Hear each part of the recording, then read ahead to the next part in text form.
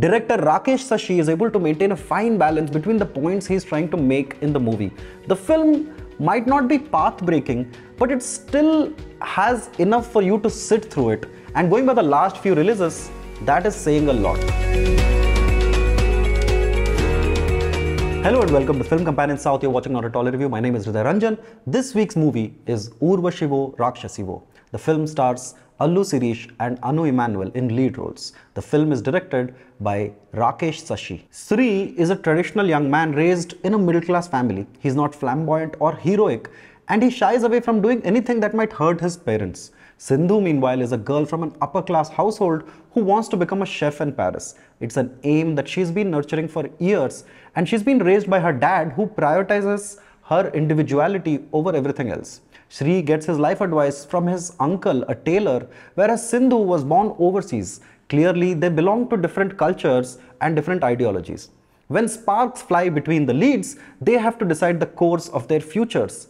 Do they choose ambition over tradition or parents over partners? Now, on paper, the film might sound like every other rom com you have watched recently, and you wouldn't be very far off the mark. The film's first half is rather bland, and in spite of coming from a reputed production house, you don't get to see any real magic in the film. Songs are fitted into the screenplay in the first half just to make the film fit in.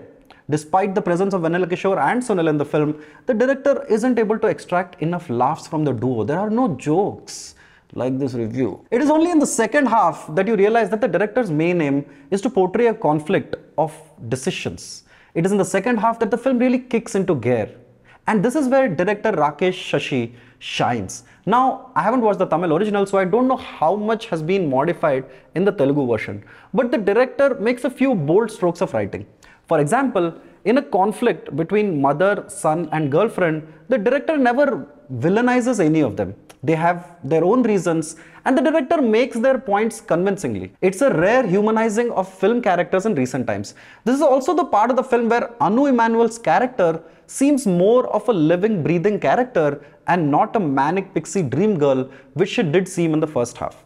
In fact, Anu Emmanuel is the best part of the movie. She is immensely watchable and amps up her performance in the dramatic portions of the movie. It helps that the director's lens doesn't judge Sindhu for the decisions that she makes.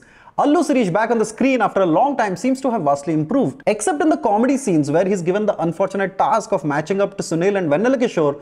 There he seems like he's making TikTok videos. However, he is efficient in the dramatic moments of the film. Director Rakesh Sashii is able to maintain a fine balance between the points he's trying to make in the movie.